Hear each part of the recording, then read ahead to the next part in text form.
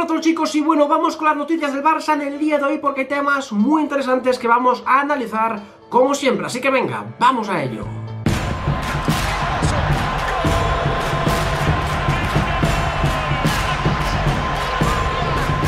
Bien, pues como decía, comenzamos con las noticias del Barça en el día de hoy. Atención, comenzamos con Bernardo Silva porque dicen que está en el punto de mira del Barcelona. Según The Telegraph asegura que el club azulgrana le piensa ofrecer un papel protagonista en el equipo. Para convencer al Manchester City pretenden incluir a Semedo en la operación. Eso es lo que están diciendo desde Inglaterra. Que el Barça va a ofrecer ¿no? una gran cantidad por Bernardo Silva. Esto de Bernardo Silva ya sonó hace un par de semanas. Lo comenté por encima, no me pareció muy relevante, pero hoy en día ya cuando vuelva a sonar, es que quizás algo de cierto hay. No digo que Bernardo Silva vaya a fichar por el Barça, no se sabe, no lo sé, pero es cierto que si suena tanto, es un poco extraño ya. Cuando varios medios hablan de lo mismo, es un poco raro, es lo que yo creo. Según dicen eso, que el Barça podría incluir a Semedo, el cual, bueno, pues Parece que Guardiola lo quiere sí o sí. Guardiola está loco por Nelson Semedo y bueno, Bernardo Silva, último partido, fue suplente contra el Madrid, aún así es un futbolista importantísimo para Guardiola, solo tiene 25 años de edad Bernardo Silva, para mí es un excelente futbolista, o sea, es muy bueno, muy bueno, muy bueno, y bueno, sinceramente, eh, ¿sería un gran fichaje? Sería un gran fichaje. ¿Es posible? Sinceramente lo dudo simplemente porque el Barça no tiene mucho dinero. El Barça económicamente no está muy bien y Bernardo Silva va a costar una pasta. No creo que llegue a 100 millones, pero sí una buena cantidad más Nelson Semedo. El Barça antes de esto ya sabéis que tiene que vender. El Barça tiene que vender a gente como un Titi, Rakitic, Philip Coutinho, etc. si quieren hacer, bueno, una operación de este calibre. Bernardo Silva, ¿es necesario en el Barcelona? tiene sitio en el esquema, eso habría también que mirarlo mucho, porque juega también como extremo, juega como media punta, posición que el Barça hoy en día no utiliza.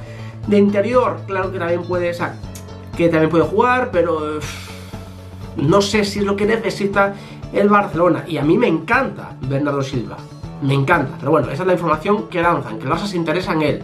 Vamos a ver qué hay de cierto. Siguiente noticia, hoy ha habido reunión Arthur Melo con Eric Avidal y se mantiene el expediente disciplinario. Se han puesto en una reunión cara a cara para ver lo que pasa y según dicen, pues bueno, se mantiene el expediente a Arthur Melo. Según dicen, van a hablar con Quique Setién esta tarde, pero dicen que está descartado que el brasileño vuelva a los entrenamientos y que viaje a Lisboa el jueves. Está claro, no ha entrenado, no ha jugado el primer partido de los octavos, eh, sería ahora ya absurdo y ridículo que Arthur entrenase. No está comprometido, ya ha firmado por la Juventus, pero según dice, tiene que arreglar su problema con el Barça, si no, no se va a poder incorporar al club turinés de manera inmediata. Va a tener que solucionar su problema con el Barça antes. Yo creo que ha vuelto por eso, porque en la Juventus le han dicho, oye, vete, soluciona tus problemas con el Barça, porque si no, no vas a poder venir ya. Así que vamos a ver qué pasa, pues desde luego el tema de Arthur Melo sigue dando mucho que hablar. Ya sabéis lo que opino sobre esto, creo que se han equivocado todas las partes. El Barça se portó mal con Arthur Melo, el Barça lo hizo muy mal, gestionó muy mal su fichaje por la Juventus y luego Arthur también lo hizo mal. Y ahora mismo, pues bueno, se han reunido y parece que el Barça mantiene el expediente al brasileño. Vamos a ver qué pasa, pero bueno, la última hora es esta, reunión y de momento todo sigue igual. Siguiente, el Barça, atención, muy pendiente de la operación Jadon Sancho por el Manchester United.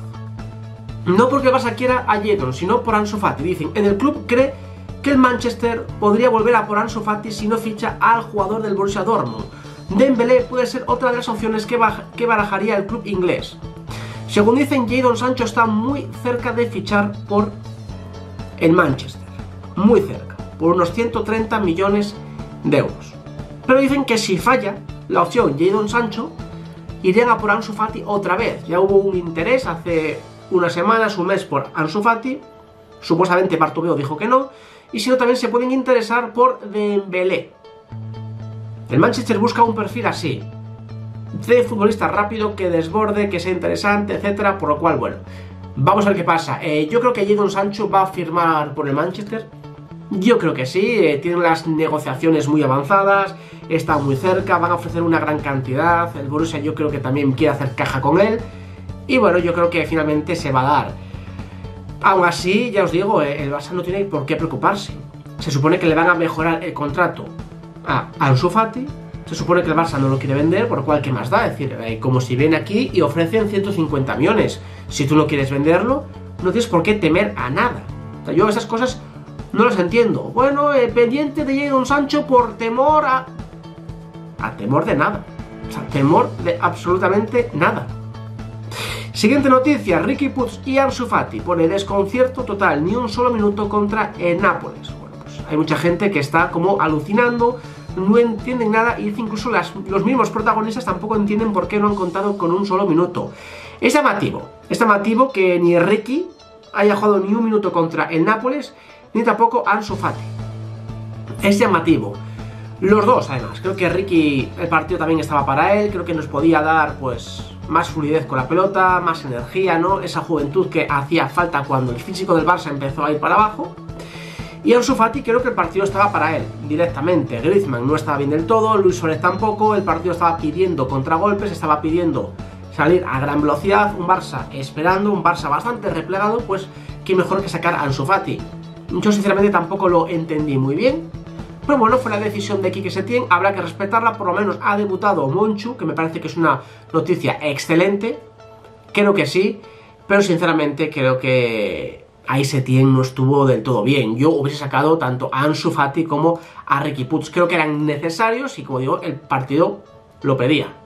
El partido lo pedía. Siguiente noticia, sin cláusula del miedo, con Philippe Coutinho. Coutinho pone el morbo al Barça Bayern. En Can Barça no quieren imaginar la hipotética eliminación con gol del brasileño. El viernes Kou se enfrenta a un grupo de jugadores con el que tiene muchas opciones de entrenarse pocas semanas después. Eso está claro que es uno de los morbos del partido, del Bayern Barça. Philippe Coutinho, no hay esta cláusula del miedo que muchas veces existía, que un exfutbolista tuyo o un cedido no puede enfrentarse contra ti, en este caso no lo hay. Coutinho se va a enfrentar al Barcelona y desde luego está pues la cláusula del miedo. Está claro. Es decir, eh, imaginaos que el Barça, espero que no, caiga eliminado con un gol de Filipe Coutinho. Eh, sería un meme. Sería bestial. Y luego Coutinho tiene que venir al Barça a entrenar con los mismos que él ha eliminado. sería algo brutal. O sea, no quiero ni imaginármelo. Espero que esto no suceda. Espero que esto no suceda. Porque si no sería... Uf. Devastador. Sería devastador. Esperemos que no. Esperemos que el Barça gane ese partido y que Coutinho no marque ningún gol. Siguiente. Busquets y Vidal los fichajes, entre comillas, ante el Bayern. Por fin el Barça recupera a Arturo Vidal, a Busquets, que no jugaron contra el Nápoles por sanción. Para mí, creo que dos fichajes, como digo, entre comillas, importantísimos. Busquets nos da esa seguridad en el centro del campo, esa experiencia necesaria. Y por supuesto Arturo Vidal tiene que jugar. Yo creo que nadie duda, ni discute, ni debate que Arturo Vidal debe jugar contra el Bayern de Múnich. Es un equipo muy físico, es un equipo que corren muchísimo durante los 90 minutos, que van a poner una intensidad y un ritmo muy alto. Y para eso necesitamos a alguien que ponga ese ritmo. Alguien que contagie a todos con su actitud, su coraje y su garra. Ese es Arturo Vidal. Para mí, como digo, clave en el partido contra el Bayern. Tiene que jugar sí o sí. Y luego la gran duda, Dembélé. Dembélé se ha visto ya sonreír en los entrenamientos, parece que sigue entrando con normalidad con el grupo. No entró en la lista contra el Nápoles porque era muy apresurado el ponerlo, pero contra el Bayern yo creo que sí va a ir convocado. Yo creo que Dembélé sí va a jugar titular. Creo que no, sería una sorpresa mayúscula si Dembélé es titular contra el Bayern pero creo que depende cómo es el partido, si el Barça tiene que marcar, si el Barça ve que el partido está para contragolpes, etcétera, o que el Barça marca uno y se replega para, bueno, guardar el resultado y salir al, al contragolpe, creo que Dembélé puede ser una solución desde el banquillo. Yo creo, yo creo que si todo sigue así, esta semana Dembélé va a ir convocado y puede ser un refuerzo o un revulsivo sensacional, pero sensacional. Porque la defensa del Bayern no es lo más rápido del mundo, y con espacios ya el contragolpe de Dembélé puede hacer muchísimo daño, pero mucho daño. Así que vamos a ver qué pasa. Y hasta aquí las noticias del Barça del día de hoy. ¿Qué os parece? Como siempre os pregunto a vosotros lo de Bernardo Silva. ¿Crees que sí, que no? Ansu Fati al Manchester. lo de Arthur Melo, ya sabéis, dejadme todo en los comentarios, apoyadme como siempre hacéis con un enorme like, suscribiros si todavía no lo estáis, ya somos 187.000, muchísimas gracias y nos vemos en el siguiente vídeo. Un saludo.